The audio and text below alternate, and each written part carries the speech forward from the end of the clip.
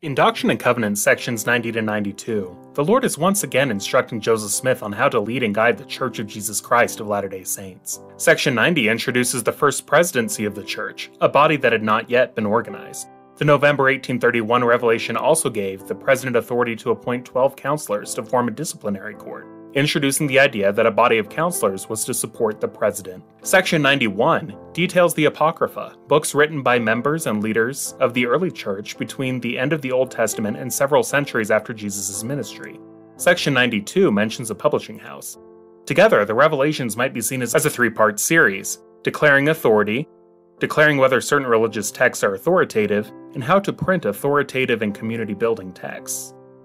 My name is Joseph Stewart. I'm the Public Communications Specialist at the Neal A. Maxwell Institute for Religious Scholarship at Brigham Young University. My co host is Janiece Johnson, a Willes Center Research Associate at the Institute, and together we will be discussing each week's block of reading from the Church of Jesus Christ of Latter day Saints Come Follow Me curriculum. We aren't here to present a lesson, but rather to hit on a few key themes from the scripture block that we believe will help fulfill the Maxwell Institute's mission to inspire and fortify Latter day Saints in their testimonies of the restored gospel of Jesus Christ and engage the world of religious ideas. Janiece, what sticks out to you about Section 90? Well, I think that we've got a lot of different things going on here. The presidency of the high priesthood, which we would later call the first presidency, was organized on the 11th of November, 1831. Joseph was ordained the president of the high priesthood the next following January. And here in verse six, the keys are given to both counselors. So this is the elevation of the first presidency to kind of what we know today. And I think that this is an important reminder to us that the organization was not all, you know, dumped in Joseph's head in an instant, that it took time. And here, so we now have a functioning first presidency. Jesse Gause, we've talked about previously, was first called as a counselor and then was later excommunicated and left Frederick G. Williams in his place. But now we have kind of the elevation of these two counselors to the first presidency, as kind of we would understand it. Yeah, it's something that's interesting to me that something as important as the first presidency wasn't spelled out right away. It gives me comfort to know that if I don't know what I'm doing, I'm in good company, but that like Joseph Smith and early saints, I have the ability to ask for help, to pray for revelation, and to expect it in that way when it's needed. I was also struck by verse 11 in section 90. It reads, for it shall come to pass in that day that every man shall hear the fullness of the gospel in his own tongue, or her own tongue, and in his or her own language, through those who are ordained to this power by the administration of the Comforter, shed forth upon them for the revelation of Jesus Christ. I like the phrase in his or her own language, hearing the gospel in his or her own tongue. I think that it means more than just hearing it in English or Fijian or Spanish or Tongan, but that it also means that we are going to hear it in the way that we need to hear it. This is something that was comforting to me as a Latter day Saint missionary that if I was doing the things that I needed to, the Lord would put the words in my mouth to say what I needed to say, even if I didn't totally know what to do in the moment. And even moving beyond oral language. I taught a gentleman on my mission named Tom, and President Monson was the president of the church at that time in 2008. And President Monson wiggled his ears once during a priesthood session. And I remember thinking, oh no, this is going to be the weirdest thing ever to explain. And Tom came out of the meeting saying, I know that I should get baptized because that's another Tom who just has a big calling and a big responsibility and if he can do that, that means that I can live up to the covenants that I'm going to make. So, whether President Monson knew that he was going to be helping someone figure out that they should be baptized, it nevertheless made a difference in Tom's life. That's a fantastic example. And I think that really reflects what we get in the first section of the Doctrine and Covenants in, you know, what is the preface to the Doctrine and Covenants. But the Lord says, Behold, I am God and have spoken it. These commandments are of me. and were given unto my servants in their weakness after the manner of their language that they might come to understanding. And the Lord has that ability through the Spirit to speak to us in a manner that we're going to understand. Now, language is also going to be a critical part of that. But to have people around the world hear the gospel in their own native tongue is going to take some time. This isn't going to be done in an instant. And we're really not going to have missionaries sent out to non English countries and beginning the process of translating the Book of Mormon into different languages until 1849. And then 1852, we'll get the first non English editions of the Book of Mormon, but we get a flurry of them very quickly. We get, actually, it's 1851 with the Danish edition. And then in 52, we get a few more. And in 55, we get Hawaiian. And then we've got this little flurry of non English editions. It's going to take some time for that to happen. But this focus has been there that everyone might hear the gospel in their own language until we get to umpteen, you know, I don't even know how many languages we have translated the Book of Mormon into today. I believe more than a hundred, and that speaks again to the investment that the church makes in the people that it commissions to translate the Book of Mormon into several languages, as well as other scriptures and materials, but also that they are taking the time to make sure that it is done right. Now, we are at a much better place now as a church, being the Church of Jesus Christ of Latter day Saints, in financial matters than we have been at other times in our history. And this section, at least to me, reflects some of the financial insecurity felt by some church leaders at this time. Janiece, you've researched the life of Vienna Jaques. Could you tell us more about her? Yeah, I and I've always said Jax. Sometimes Joey and I will question what our translation, what the, our pronunciation is. But I really love in section 90, in verse 28, we get the second, only the second woman that we've had mentioned in the Doctrine and Covenants text, and that's Vienna. She came from Boston when she arrived in Kirtland, she was a single woman in her mid 40s. She was a woman of means. She'd had a couple homes in the Boston area. She had worked as a nurse, she had worked as a laundress. She did a number of different things, but she was very well to do. And when she first heard of Joseph Smith, she sent for a Book of Mormon. But when she first got the Book of Mormon, it didn't really hit her. It didn't seem to make any sense to her. And that evening, as she was starting to pray, she had a vision of the Book of Mormon and decided to pray about the Book of Mormon and received a witness that it was true, that it was divinely inspired. And this leads her to travel to Kirtland and meet Joseph Smith, where she's baptized. And then she returns to Boston and continues to help missionaries. She shares the Book of Mormon with many individuals, but decides that she wants to gather with the saints in Kirtland. And so she travels to Kirtland. And when she gets there, she offers a significant financial offering.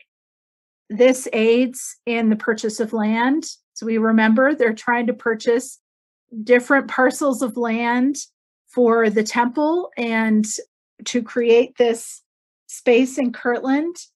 And then this revelation comes in section 90. She hasn't been in Kirtland for very long. And then the Lord says, Verily I say unto you, it is my will that my handmaid Vienna Jaques should receive money to bear her expenses and go up to the land of Zion. So she's already traveled so far and then she has given most of what she had to the church. And the Lord says, so now the church needs to help her go even further and get to Missouri. Again, just six weeks after she arrives in Missouri, she is present when Edward Partridge and Charles Allen are tarred and feathered in the Independence Town Square. She is part of those saints that are pushed out of Jackson County. And after Joseph, of course, is in Kirtland, it takes time for him to hear everything that's going on. We're going to talk about this more as the sections continue. But he had Vilade on his mind as he heard about what was happening in Jackson County. And he finally sits down to write her a letter. There is this beautiful, her own revelation that he records in this letter. And I want to read part of this. And this is Joseph writing to Vienna. I have often felt a whispering since I received your letter, like this. I think that whispering is that revelatory voice to Joseph. Joseph, thou art indebted to thy God for the offering of thy sister Vienna, which proved a savior of life, as pertaining to thy pecuniary concern. Therefore, she should not be forgotten of thee, for the Lord hath done this, and thou shouldst remember her in all thy prayers, and also by letter, for she oft times calleth on the Lord, saying, O Lord, inspire thy servant Joseph to communicate by letter some word to thy unworthy handmaid. Canst thou not speak peaceably unto thine handmaid, and say, All my sins are forgiven? And art thou not content with the chastisement wherewith thou hast chastised thy handmaid? Yea, sister, this seems to be the whisperings of a spirit, and judge ye what the spirit is. I love the different elements here. Her offering proved a savior for a struggling church. The church is in the red until we get to the early 20th century. And this is a major concern for Joseph and the other leaders. But also, we have God hearing her prayer and inspiring Joseph to write and to communicate this revelation to her. And I think that's really remarkable. I also think it's remarkable to know that the Lord answers many people's prayers, but that often He is answering our prayers through the folks that He puts into our path. Now, in section 91, this is a revelation that Joseph Smith receives on the Apocrypha. Janiece, you went to divinity school. What's the Apocrypha?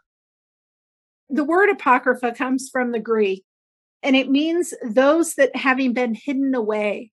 So when we talk about the Apocrypha as a name, as a title, we're usually talking about the 14 books that come from the Greek Septuagint, which aren't in the Hebrew Bible.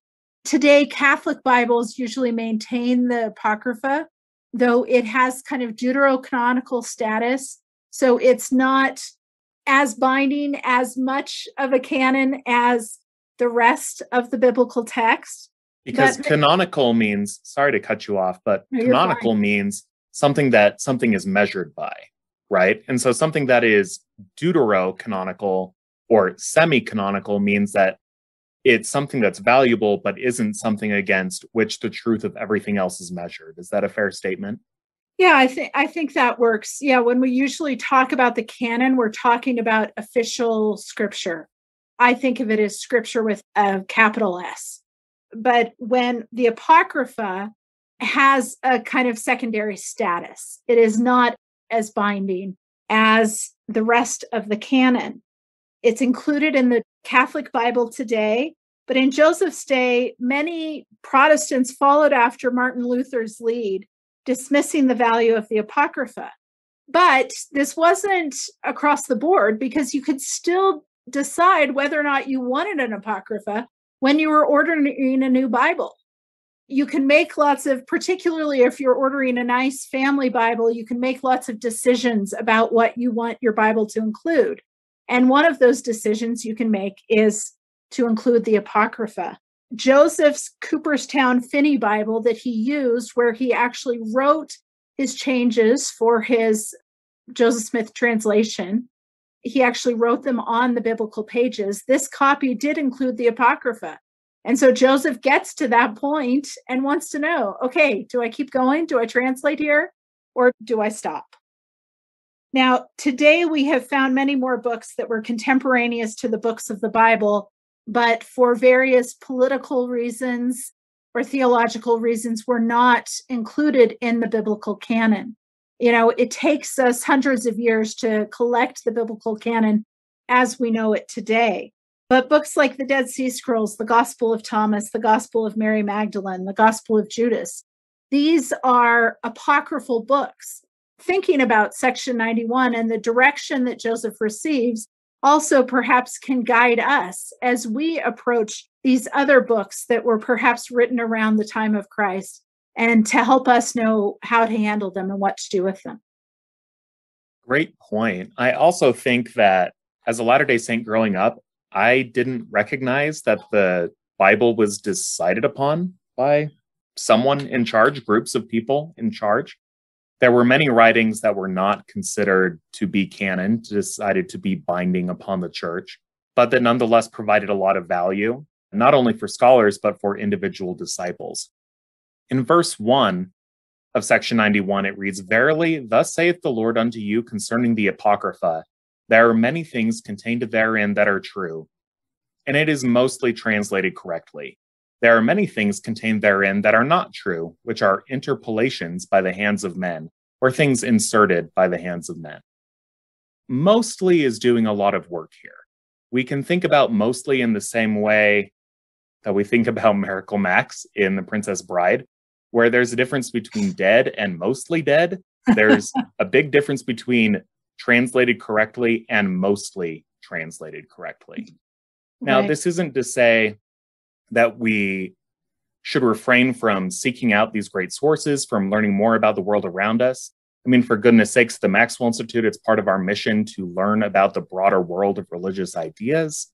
But we just need to be careful to recognize that the church doesn't recognize them as binding for the church as authoritative. However, that doesn't mean that we can't find value in our personal study lives as we study a great deal of things. Yeah. I like to think a lot about Moroni's words at the end of the Book of Mormon. You know, as he's quoting his father a lot, there is this idea that disciples seek out good wherever it is.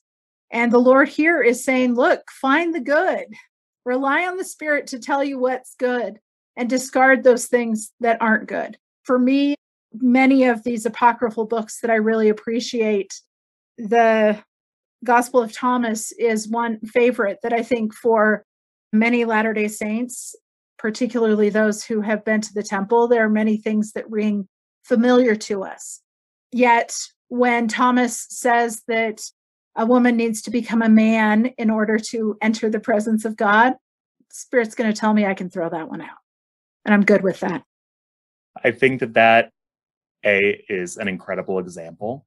But B, it's important to remember that apocryphal writings, we can also think about other great religious thinkers who can bring us closer to our Father in heaven and to better keep our covenants as disciples of Jesus Christ. For instance, the theologian Dietrich Bonhoeffer is someone who brings me closer to the Spirit and helps me to recognize the value of grace in my life. Or thinking think, about I think Elder Christofferson is on the same page with you there. I think so too. I also think that it's important to recognize that we can find inspiration from a number of places. And there's a first presidency statement from 1978. And in part, the statement reads Based upon ancient and modern revelation, the Church of Jesus Christ of Latter day Saints gladly teaches and declares the Christian doctrine that all men and women are brothers and sisters, not only by blood relationship from mortal progenitors, but also as literal spirit children of an eternal Father. The great religious leaders of the world, such as Muhammad, Confucius, and the Reformers, as well as philosophers including Socrates, Plato, and others, received a portion of God's light. Moral truths were given to them by God to enlighten whole nations and to bring a higher level of understanding to individuals. Now, moving a little bit forward, we also declare that the gospel of Jesus Christ, restored to his church in our day, provides the only way. I really appreciate the part about how these truths were given to enlighten whole nations and bring a higher level of understanding to individuals. We have nothing to lose and everything to gain from seeking out all the truth that the world has to offer to us. That in the restored gospel of Jesus Christ, we do not have to abandon truth anywhere we find it. We can find a way to incorporate it into our lives for ourselves. I love that. James Talmage's headstone reads that there is room within the gospel of Jesus Christ for every truth known to man. I think that there is something beautiful there that as disciples, we seek out the good. We use the Spirit to help us discern, but we want to find the good. I can't think of a better place to stop than that. We look forward to you hearing the reading of the selection from the first presidency statement in 1978 and hope that you find a way to incorporate all the truth that you can find into your life. Based upon ancient and modern revelation, the Church of Jesus Christ of Latter day Saints gladly teaches and declares the Christian doctrine that all men and women are brothers and sisters not only by blood relationship from common mortal progenitors, but also as literal spirit children of an eternal Father. The great religious leaders of the world, such as Mohammed, Confucius, and the Reformers, as well as philosophers including Socrates, Plato, and others, received a portion of God's light. Moral truths were given to them by God to enlighten whole nations and bring a high level of understanding to individuals. The Hebrew prophets prepared the way for the coming of Jesus Christ, the promised Messiah, who should provide salvation for all mankind who believe in the gospel. Consistent with these truths, we believe that God has given and will give to all peoples sufficient knowledge to help them on their way to eternal salvation, either in this life or in the life to come. We also declare that the gospel of Jesus Christ, restored to his church in our day, provides the only way to a mortal life of happiness and a fullness of joy forever. For those who have not received this gospel, the opportunity will come to them in the life hereafter, if not in this life. Our message, therefore, is one of special love and concern for the eternal welfare of all men and women, regardless of religious belief, race, or nationality, knowing that we are truly brothers and sisters because we are sons and daughters of the same eternal Father. Thank you for listening to this episode of Abide, a Maxwell Institute podcast. Head on over to iTunes or your preferred podcast provider to subscribe, rate, and leave a review, each of which are worth their weight in podcast gold. You can receive show notes, including references to the sermons and articles referenced in this episode, by signing up for the Maxwell Institute newsletter at mi.byu.edu. Please also follow us on Facebook Twitter, Instagram, and YouTube for more content from the Neal A. Maxwell Institute for Religious Scholarship. Thank you, and have a blessed week.